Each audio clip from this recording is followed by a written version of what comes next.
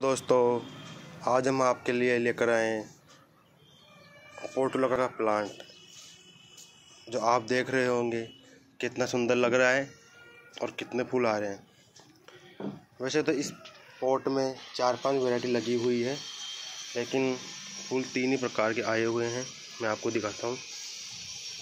एक red colour के, एक वाइट कलर के और इधर एक येलो कलर का फ्लावर आ रहा है। देखिए दोस्तों।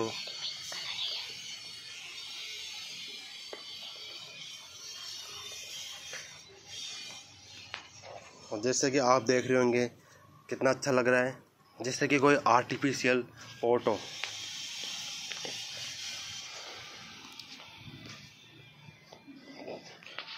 तो दोस्तों, पहले आप हमारे चैनल को सब्सक्राइब कीजिए लाइक कीजिए, और फिर आप वीडियो की मज़े लीजिए।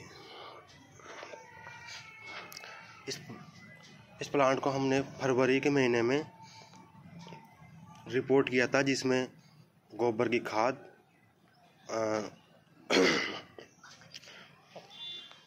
को कंपोस्ट करके डाला हुआ है।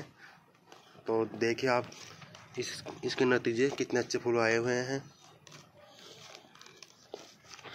और अभी तो इसमें कुछ नहीं है। जब जब जैसे जैसे गर्मी और तेज होगी, इसमें और अच्छे फ्लावर आएँगे।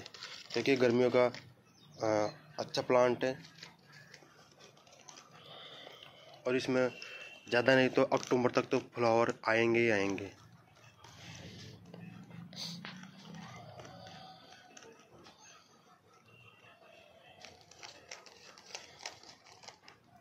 और बीच बीच में अपन इसमें चाय पत्ती भी जो चाय बनाने के बाद जो चाय पत्ती बच जाती है वो भी इसमें डाल डाल सकते हैं सुखाने के बाद धो के अच्छे से। क्योंकि चीनी नहीं होनी चाहिए उसमें। चीनी होने से पेट खराब हो जाता है।